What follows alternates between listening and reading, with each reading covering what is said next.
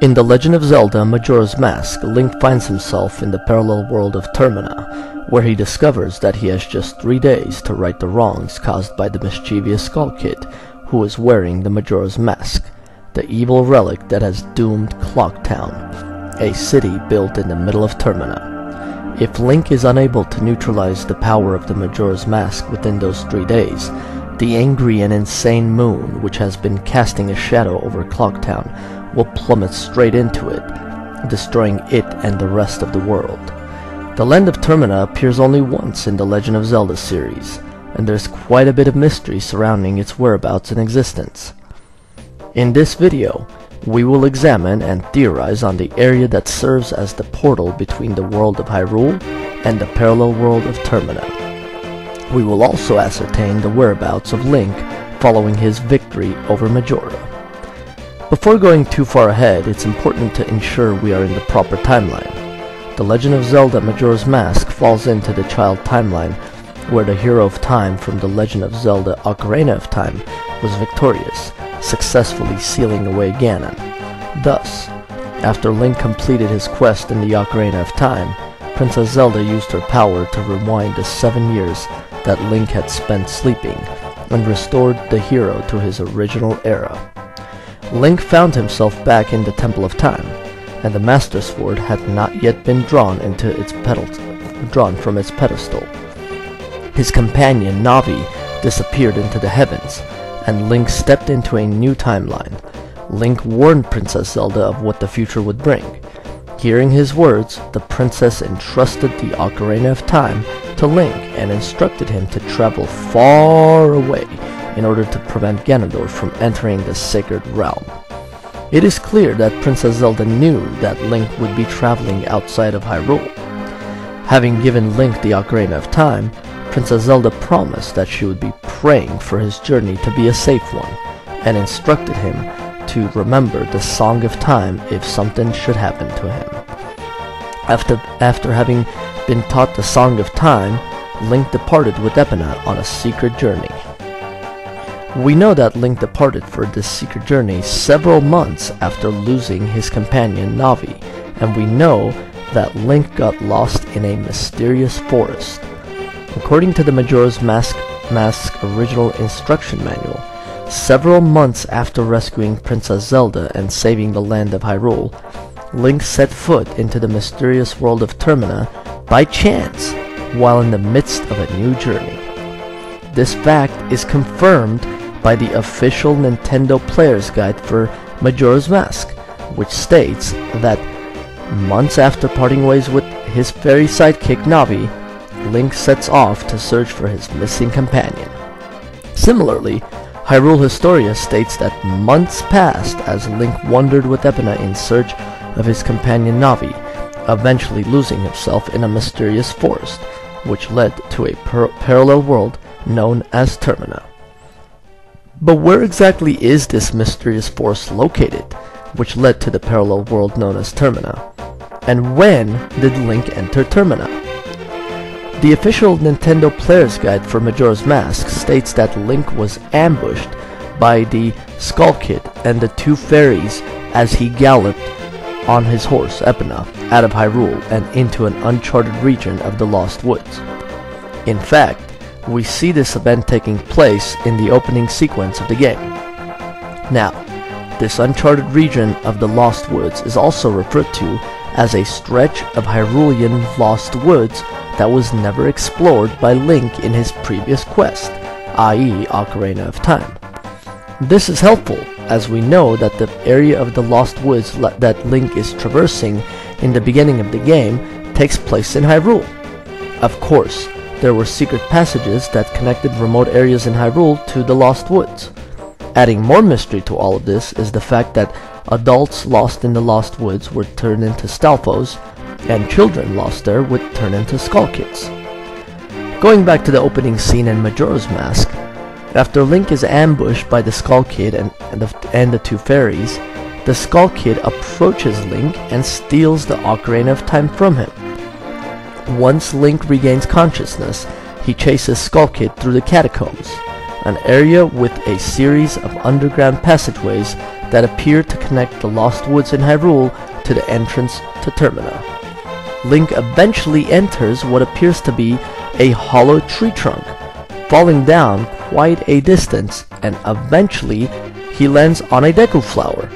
Now, it has been theorized by some people, with good reason, that when Link falls inside this hollow tree trunk and lands on the Deku flower, he has reached Termina, and that this hollow tree trunk serves as the portal between Hyrule and Termina.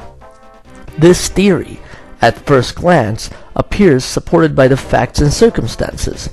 After all, once Link falls on the Deku Flower, a plant that previous to this game was nowhere, nowhere to be found in Hyrule and only appears to exist in Termina, we see the various masks and items from the game displayed in a manner similar to and reminiscent of the on-screen visual effects that result from playing the Song of Time in the Land of Termina, which takes us back to Dawn of the First Day, of course.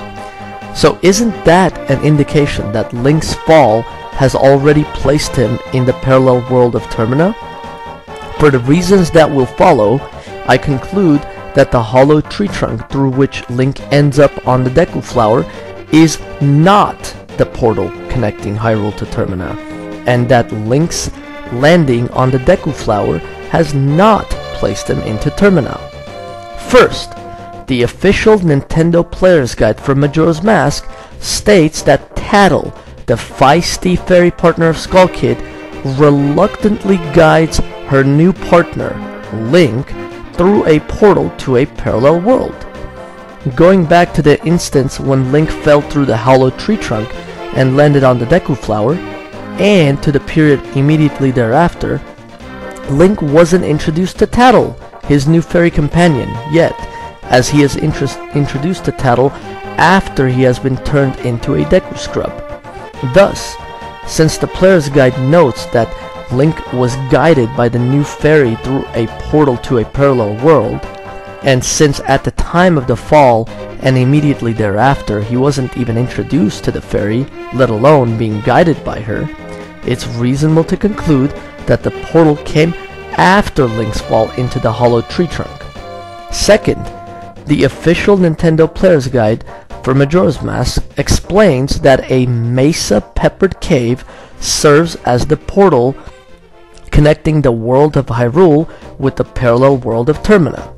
And notably, it states that Link is supposed to use the power of the Deku Scrub to, to traverse the chasm in this mesa-peppered cave that serves as the portal connecting the world of Hyrule with the parallel world of Termina. Thus, we know that the portal is some sort of a mesa-peppered cave. Moreover, this revelation implies that you enter the portal only after having been turned into a Deku Scrub.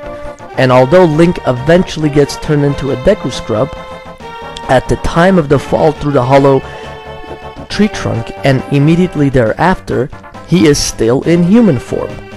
As the official Nintendo Player's Guide for Majora's Mask makes clear, Link must use the power of the Deku Scrub in order to traverse the chasm in the mesa-peppered cave which serves as the portal.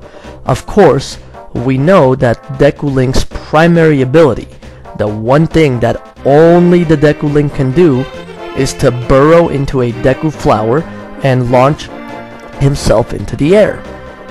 in the catacombs, one area where Link must use this ability is in the final area right before entering through the door that leads to the Twisted Tunnel or corridor, and this is the same area where Link obtains the Deku Nut from the chest and is told by the fairy about what is widely believed to be the Deku Butler's son's spirit in the form of a tree. Clearly, this area comes much later than the fall into the hollow tree trunk.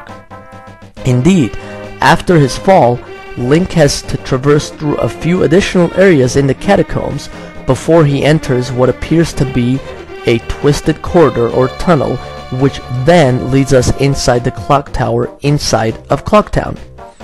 This effect, showing the twisted corridor or tunnel which leads to inside the clock tower, is more likely where the actual transformation from Hyrule to Termina occurs, as this twisted tunnel connects the inside of the clock tower with the mesa-peppered cave that Deku Link must traverse. In fact, in the 3DS version of the game, this area is represented in a more prominent purple color. Incidentally, the color we most associate with Majora's Mask, a game that takes place in Termina, and certainly looks to be more of a portal or warp point than just another area. Finally, we know that Link's transformation into a Deku Scrub is caused by the spirit of a member of the Deku tribe. However, what's relevant here is that according to Hyrule Historia, the member of the Deku tribe died in the forest connecting Hyrule and Termina. Thus, the area that is widely believed to be where the Deku Butler's son died and that is currently occupied by the tree which holds his spirit, as confirmed by Hyrule Historia, must be the Pe Mesa Peppered Cave that serves as the portal between Hyrule and Termina. In fact, both in the beginning part of the game and in the end credits, this cave appears to act as a portal between the two worlds. For example, in the beginning of the game, we see that the door leading from this area takes us through the twisted tunnel and straight inside the clock tower. And in the end credits, following the conclusion of the game, we see the camera essentially moving into or through this door. And the next image we see is Link on his horse in the Lost Woods again. Thus, this area is likely the portal that connects Hyrule to Termina.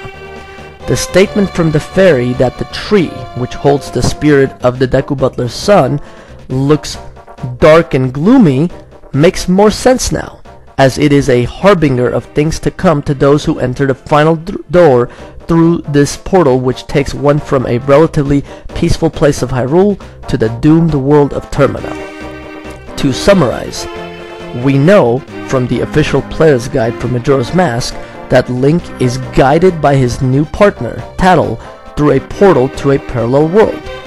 So we know the portal between Hyrule and Termina occurs after Link has met his new partner, Tatl.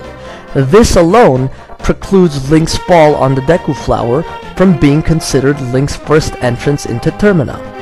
Moreover, the official Nintendo Player's Guide also states that Link is supposed to use the power of the Deku Scrub to traverse the chasm in the Mesa Peppered Cave that serves as the portal connecting the world of Hyrule with the parallel world of Termina. This Mesa Peppered Cave appears to be the final room right before the twisted tunnel or corridor where we find the Deku Nut in a treasure chest and wh where we also find the spirit of the member of the Deku tribe in the form of a tree, widely believed to be the Deku Butler's son's spirit. I say this because it is in this cave room that Link must use the power of the Deku Scrub to traverse from one flower to another to arrive at the final flower, which is situated near the tree that is holding the spirit of the Deku Butler's son. Moreover, according to Hyrule Historia, we know a member of the Deku tribe, which is represented by the tree, died in the forest connecting Hyrule and Termina. Thus, the area where the spirit of the deceased Deku tribe member is located serves as the portal that connects Hyrule with Termina. As we recall from the beginning, the entire reason Link left Hyrule and ended up in Termina was because he was in search of his fairy companion Navi. So, after he was able to save Termina from the falling moon and retrieve the Majora's Mask for the, Majora for the Happy Mask salesman, where did Link go? The Majora's Mask end credits shows that, that the Happy Mask salesman travels and asks Link, shouldn't you be returning home as well? However, Link does not react in any way to this statement by the Happy Mask salesman. Also in the end credits, Link is told by Tatl, why don't you just leave and go about your business? The rest of us have a carnival to go to. Notably, Link nods to the statement showing approval. Towards the conclusion of the end credits, we see Link traveling at what appears to be the same place as he was in the beginning of the game, i.e. the uncharted region of Lost Woods, which, as we covered before, is a Hyrulean Lost Woods that was previously unexplored. So did Link go back to Hyrule after completing his quest in Majora's Mask? Is it possible Link was going to go elsewhere? After all, we know from near the beginning of the game that Princess Zelda instructed Link to travel far away in order to prevent Ganondorf from entering the Sacred Realm. I would argue that Link did not go back to Hyrule, but rather continued his quest and searched for Navi. It is possible that in order to continue his quest for finding Navi, he had to get out of Termina and enter the Hyrulean Lost Woods again, but I think it's reasonable to conclude that he wasn't going to back to Hyrule but simply continuing his search for Navi.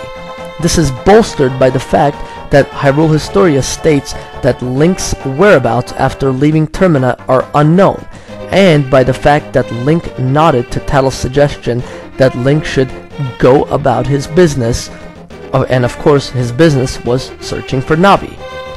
Now that we are nearing end of this video, I'd be interested to know what you guys think. What do you guys think as far as the area that serves as the portal between Hyrule and Termina? And where do you guys think Link goes after his quest in Majora's Mask? I'd be happy to get all of your thoughts, so feel free to comment away. Thank you and have a nice day.